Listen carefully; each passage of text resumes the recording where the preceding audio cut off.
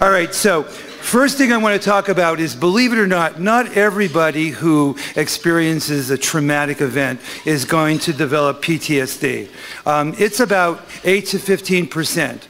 Now, I'm a case in point because when I was going for my first master's in education at Cal State, I was working in a gas station and I got held up at gunpoint.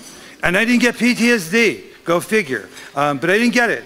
Um, but but lots of people do get it, and it's a terrible, terrible disorder. So um, in order to find out what PTSD is, we have to consult the American Psychiatric Association's Book of Fairy Tales. Um, and this Book of Fairy Tales is called the DSM five now. It was the four. Uh, this is the latest edition in their book of logical fictions. And so what they say that PTSD is, is it's exposure to an aversive event or repeated exposure to an aversive event, or you witness an aversive event, or you learn about an aversive event that affects a loved one. So for example, getting, um, getting um, molested, raped, um, held up at gunpoint, carjacked, that all meets the criteria.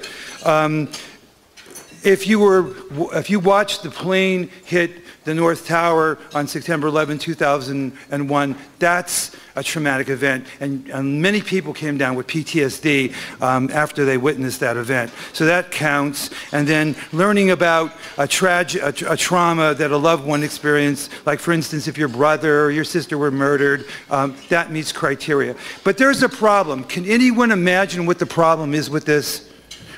Can anybody? There's a problem with this definition. Big problem. Number, number one major problem is that the DSM-5 is atheoretical, and it deals with mental disorders as syndromes. PTSD is the only diagnosis where they talk about a specific cause, and this is going to be a, a big problem, a big, big problem.